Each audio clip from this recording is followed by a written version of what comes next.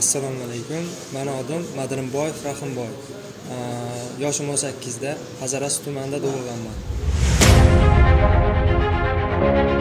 soha qiziqishim youtubeda akmal kadirov nomli dasturchi bor.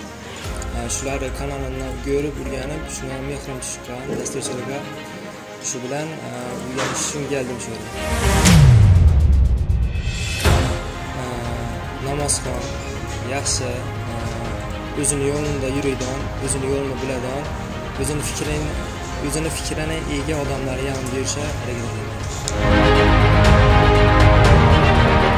man dangasa emasman o'zi ko'p ishlash yaxshi ko'raman dangasa dangasa odamlar kim?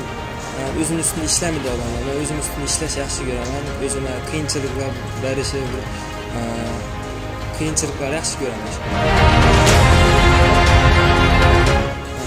tushkunlikka tushganimda shu motivatsion gaplar eshitaman ko'p qo'shiq eshitaman fikrim o'zimdan ko'tarib olaman kayfiyatimni o'zi ko'p tushkunlikka tushunmayman kulib yurayman endi melanxolik emasman hech qachon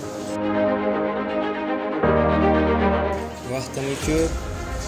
Beragan masaldan video o'yinlarga sarflaydim keyin youtubega sarflaydim dasturchilik o'rganishga sarflaydim beragandan keyin hamma bor diqqat e'tiborini shu o'qishimga sarfladim.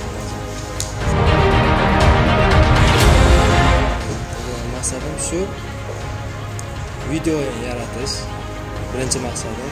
Ikkinchi maqsadim o'zimni kompaniyamni asos solish video o'yin kompaniyasini. U o'yinlarda endi jangari narsalar bo'lmaydi lekin yaxshi narsalar bir o'rgatuvchan o'yinda bo'ladi. O'rgatuvchi o'yinda bo'ladi.